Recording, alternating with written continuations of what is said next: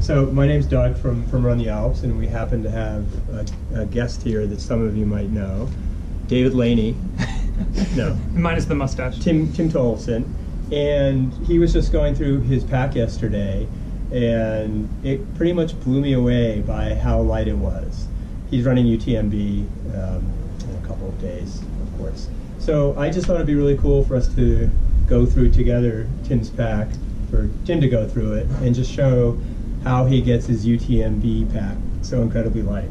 Yeah, I think a big thing is working with Hoka's uh, innovation team to kind of design some custom pieces for us uh, that are packable, that are light, but also functional. It has to meet the requirements so that it actually is functioning if in case you do need it. Right. But um, so yeah, I guess uh, starting out, the, the most critical pieces are um, you know the space blanket and the uh, elastic bandage Mhm. um, that you you have to carry. So I carry those in my buff on kind of this outside pocket, um, and those are just kind of your standard pieces. Yeah. Um, and the biggest thing in my pack actually is the 180 gram weight mid layer. And so this is mine. It it uh, comes in right at 180 grams, and it has a hood on it. Uh, long sleeve. It's very warm and comfortable and stretchable, so Mhm. I, I like it. But uh, it, it's kind of the bulkiest piece, and I think there's no way around that. Right. Um, but so that's kind of that's that piece. Okay. Um, then we have uh, the waterproof pants um, that uh, they they've designed for us that are pretty incredible. That uh, I think these are 83 grams. These are incredibly Um, light. I, I picked these up the other day. And Yeah. It, was, it kind of blew me away. And I leave them unzipped so that if I actually need it, you slide it on the way on, and then you can zip it down, so you don't have to take your Mhm. shoes off, which is kind of a very convenient thing. So Right. waterproof pants. Um, and then uh, I have uh, another pair of leggings that uh, also happen to be waterproof, but full length, um, cover your legs as the requirement. Some people do socks and half tights or Right. you know compression stockings. I like to just have a full another trouser in there. Um, Okay. so that's my second one. Okay, so that's if we have a storm like last year over Grand It-. You have both those on. I well, I actually didn't use them at all. Okay. No, I use my waterproof jacket, but it's a, a waterproof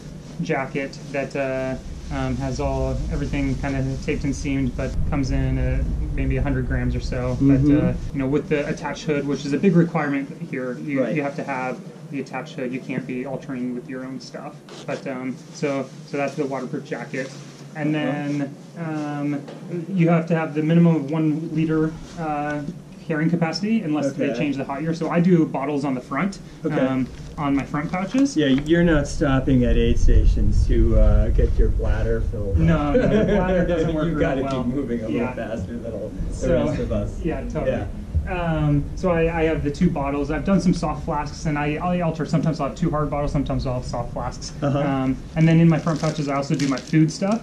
I often like Stroop waffles. Okay. Uh, one of my sponsors, GU. I, I work with them. Um, Mhm. So that one's really. Wait, um, that's going to get you all the way around UTMB? No, no, no. okay. One- so one waffle. One, will, will get you to the 4,000 first aid calories in a waffle. Okay. Um, yeah, right. but uh, so I'll pack a bunch of those in here, um, Okay. and also I do liquid calories. So my bottles are full of Roctane, which is a drink powdered mix, 250 calories per 20 ounces. Okay, so you're getting your calories that way Yeah, also. That's not something I usually think of. Yeah, you know, I like to drink the calories. It, it just goes in Okay. easy and, you digest it. Uh-huh. Then I have my gloves. Um, there, there's warm and waterproof gloves. So, Mhm. and I'm always confused on what. But so we have Right. we have the warm pair that I um, that I keep in here, and then on the other side I have my my waterproof gloves, um, Okay. which are just kind of a very thin. They're probably six grams, very light, um, Uh-huh. but uh, that go over the top. Right. Um, and then you have to have a personal beaker, so I keep that in the front in case you Mhm. need, you know, water from an aid station or Coke.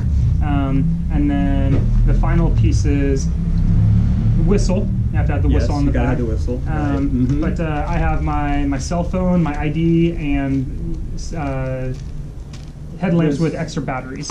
So inside here, I have my cell phone that uh, was uh, with an international plan. It, uh, it's not a smartphone, so I can't you know upload my Instagram photos while running. You're not going to be going through all your apps when No. you're running? No. Okay. And then I got two two headlamps, um, all the backup batteries for them, and then my Okay. ID card. Um, and I, I do during the night use a big headlamp as well. I was well. just going to ask that because, I mean, that's not uh, legit you know, I mean, it qualifies certainly by the standards, but Yeah. I can't And imagine. have you ever run with one? You can. You Yeah, can they're, the they're not bad actually. No. They're pretty good, Yeah, but I I, like can't them. imagine running all night with one. Yeah. Uh, by choice. yeah, so I, I do use a big Petzl, um, the uh, Reactik headlamp. Okay, So okay. Um, but so that is, uh, I believe, everything that was in my my pack. And so yeah, Have you weighed? You know. I haven't weighed it, so I'm not here? sure what it would come in at. But uh, I guess for killing, I'd be cutting the tag off here as well. Right, exactly, Yeah. right. But uh, like for me, the weight isn't as big of a concern as the packability. Yeah, that's what you said. I don't want the yesterday. volume because Yeah. it bounces around. I'm I'm not like this the, the tiniest lightest runner, so a few extra grams or ounces here or there don't even bother me. Uh-huh, um, But uh-huh. uh, it's more I want it to pack and not move on my bag on my back, and this Uh-huh. formation seems to work. Okay.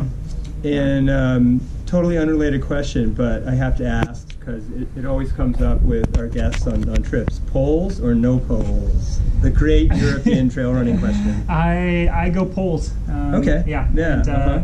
and I just find that it helps later in the stage. Yeah. You know, when your legs are really fatigued and you're you're having a tough time, it helps you stabilize when the muscles are pretty pretty worn down. Uh-huh. But uh, and this pack doesn't have a fashion a fashioning system for poles, so I will end up carrying them. Right. My, my last year's pack did. and I had a quiver, um, and but they unfortunately didn't make it with this one. So I thought about maybe sewing this on, but I'm not much of a seamstress. Yeah, so okay. If I, if I'll I have to wait do till that, next yeah, year. Experiment, but So, uh, okay. yeah. Hey Tim, thanks a lot. Ah. This is really cool. Yeah, Now, do you mind if I take like a 20 pound rock and put And it in the back?